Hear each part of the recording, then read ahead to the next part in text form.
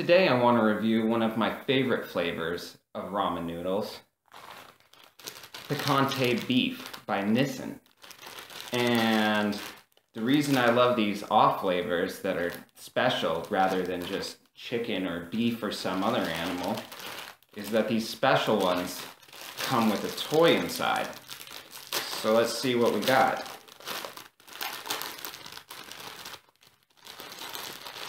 And we got, looks like some stickers, which kind of bums me out because uh, I think it's a cheap excuse for a meal toy. Um, there's not much I can do with this. I can't go run around and play with stickers.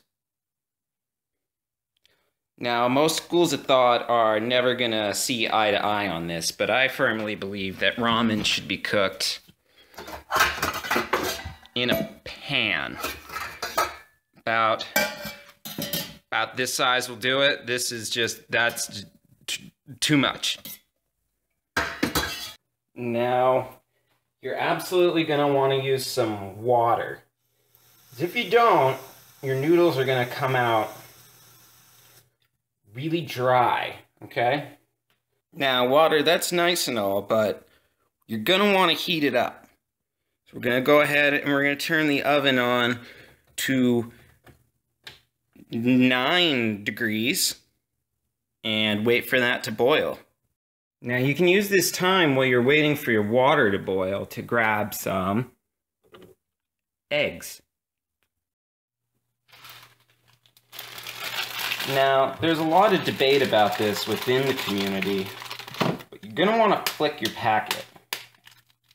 That's where all the important stuff is. If you don't flick it, it's not going to settle to the bottom, and when you rip this, it's just, it's just, it's, it's going to get everywhere. Okay, now that our water's boiling, we have to act fast. There's an order of operations you want. Gotta put in your noodles first. Your flicked flavor packet. Spread it all over there. Then your eggs.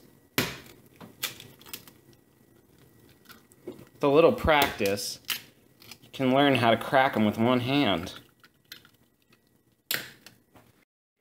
Now this part may take a while, so go ahead, grab yourself a snack or a cup of coffee.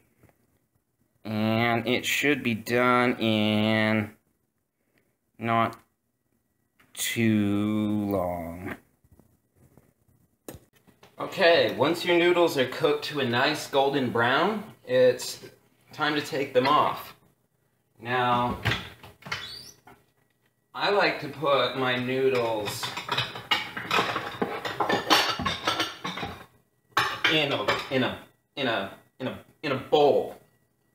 Um, some people will tell you to use a plate, but um, who's the expert here? Okay, Which you'll really need noodles are all done, about three things. And it's time to try them. Something to put this delicious food into. To in a really big plate. If you're gonna try to put it into a plate, a all right. You know. Um, I love this show. This, you just fucking you smash it.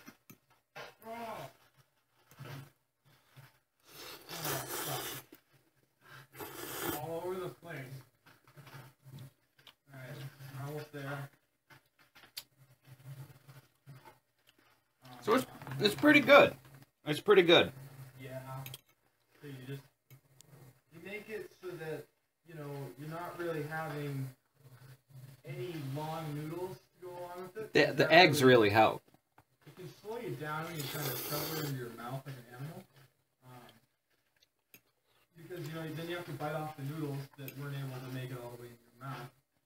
So picante beef, I like it. Uh, I like it better than just regular beef, and I like it better than regular picantes. And I don't even really know what um what a picante is.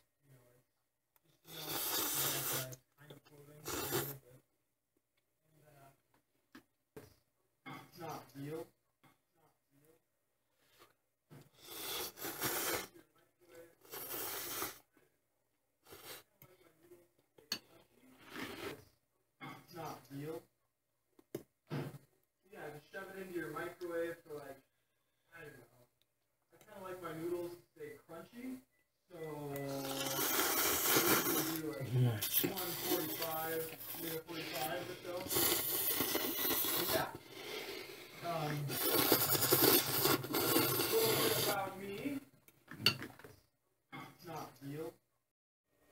So I would say overall, uh, picante beef is pretty, pretty good. Um, like I said, it's better than regular beef, um, which is just too plain for me. Um, so I'm gonna go ahead and I'm gonna